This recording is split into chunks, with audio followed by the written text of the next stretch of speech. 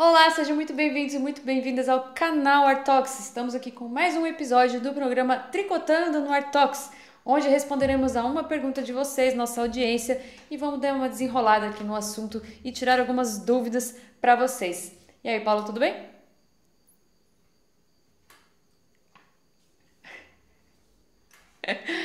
O, a pergunta do de vídeo de hoje é de Alessandro. Ele pergunta: Giclê de uma mesma obra em diferentes formatos segue a mesma numeração?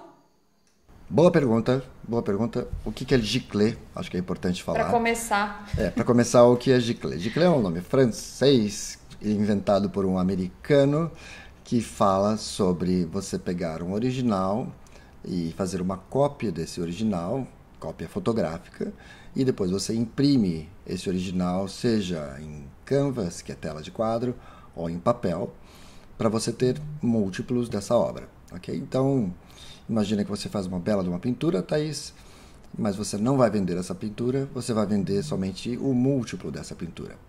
Só que a sua pintura original, ela tem uh, um metro por um metro.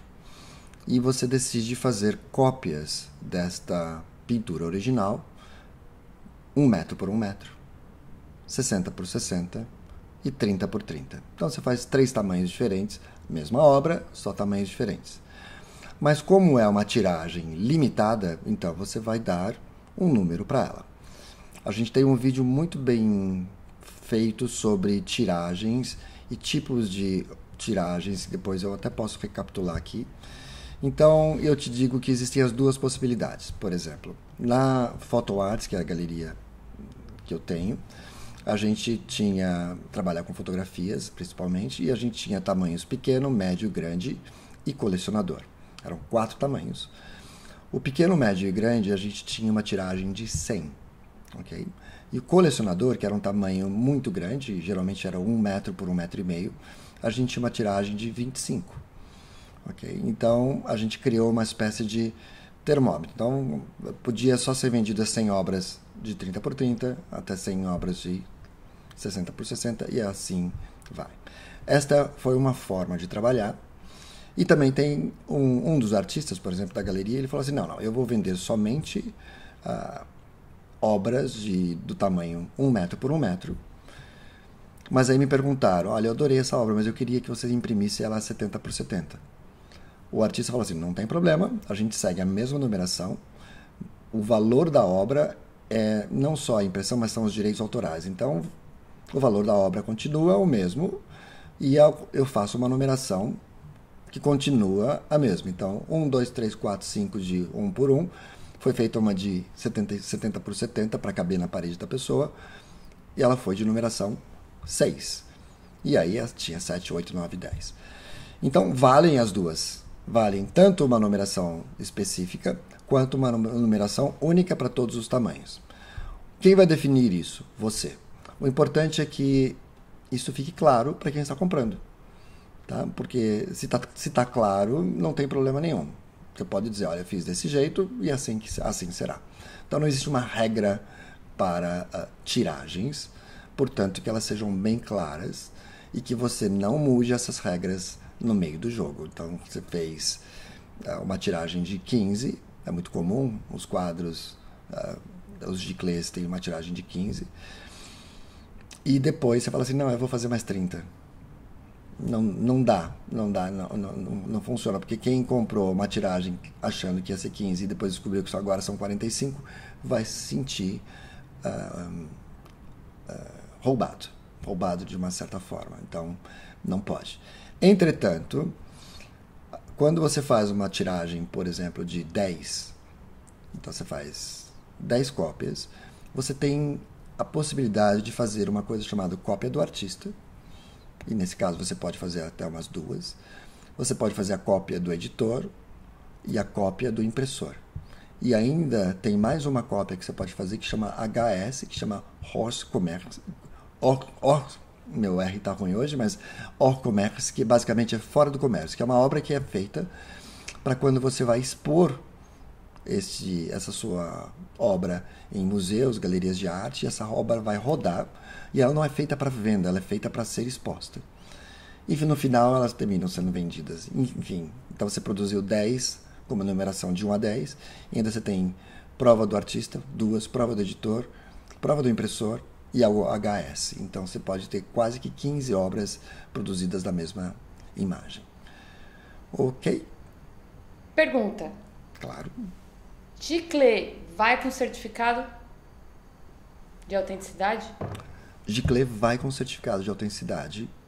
E ali vai a numeração e, inclusive, qual é a tiragem daquela, daquela edição? Exatamente. É aquele caso clássico de vai, assim, 1 barra 100, 1 barra 50, 1 barra assim. Então, tem sempre a numeração especificada no Giclé. Não precisa estar na frente, pode estar no verso do quadro, mas tem que estar indicado. E a pessoa que comprou pode ter um certificado de autenticidade, é sempre bom. E é legal porque no certificado de autenticidade você coloca como é feita, que materiais foram envolvidos. Porque Isso que eu ia perguntar, o papel onde foi impresso também Sim. vai no...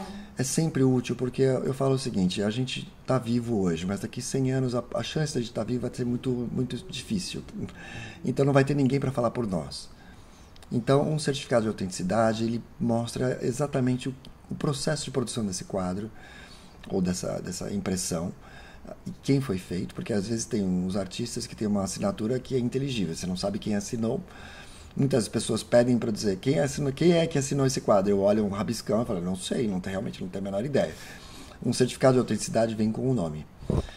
É sempre bom, aliás, quem assina quadros, não faça na frente, faça no verso, ah, coloque o nome também, coloque a data. Essas coisas são muito importantes para quem está colecionando.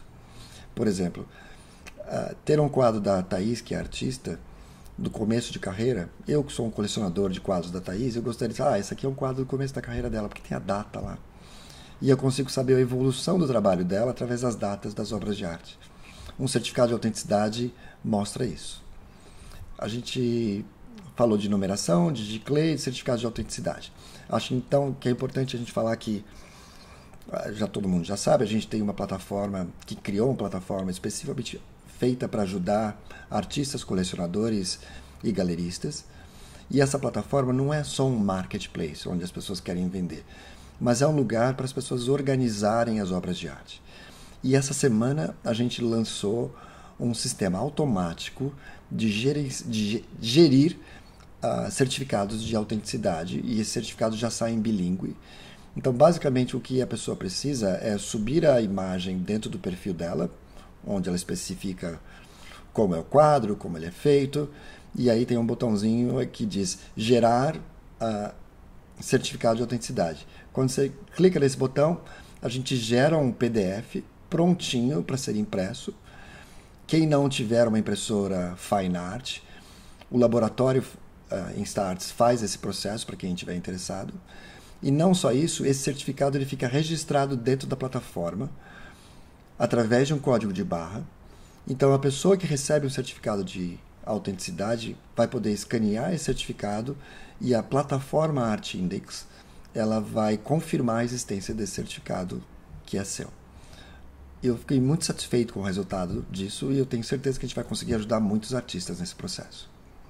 E vale lembrar também que na plataforma, se você vende essas cópias, você faz fine art você vende as cópias das suas obras, lá tem todo um sistema, não vou ficar falando muito aqui, mas lá tem todo um sistema onde você consegue ter o controle de todas essas obras, para onde, ah, a V12, sei lá, foi do código tal, tá em Recife. Essa daqui tá numa galeria em São Paulo. Você tem toda o descritivo, você tem um controle melhor do estoque, vamos dizer assim, das suas obras e onde elas estão, né?